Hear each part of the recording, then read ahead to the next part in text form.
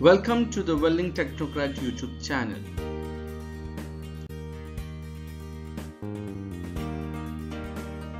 The 2019 edition of Section 9 added a requirement to paragraph QG106 that organizations must define the responsibilities of welding engineer.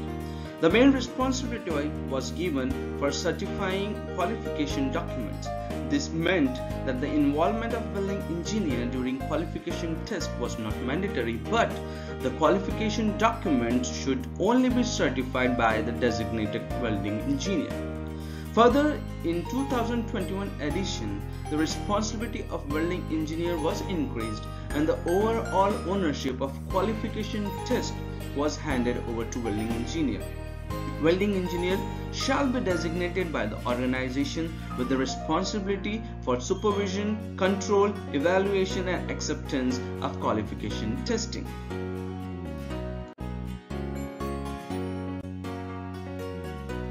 Consider a heavy manufacturing organization where welding is carried out.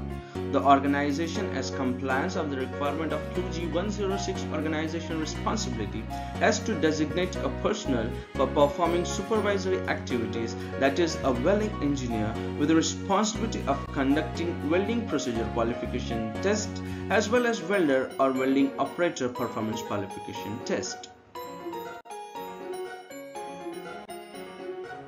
As per the ASME BPVC Section 9 QG 106, Organization Responsibility, welding engineer's main responsibility is to supervise and control the welding test coupon.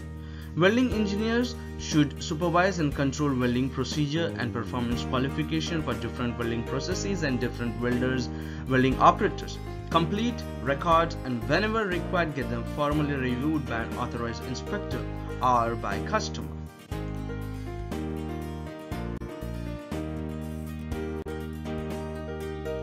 Now what is the purpose of giving only the designated welding engineer such specific responsibility? The welding qualification requirements of Section 9 code that an organization adopts must be fully supervised and controlled in such a way that the information in the qualification record is a true record of the variables that were used during the welding of test coupon.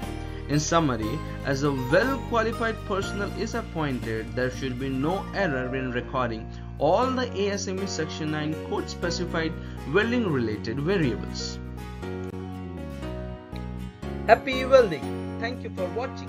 Kindly like the video and subscribe the YouTube channel. Push the bell notification for new welding related videos. Share the video with welders, welding foremen, welding engineers and welding enthusiasts.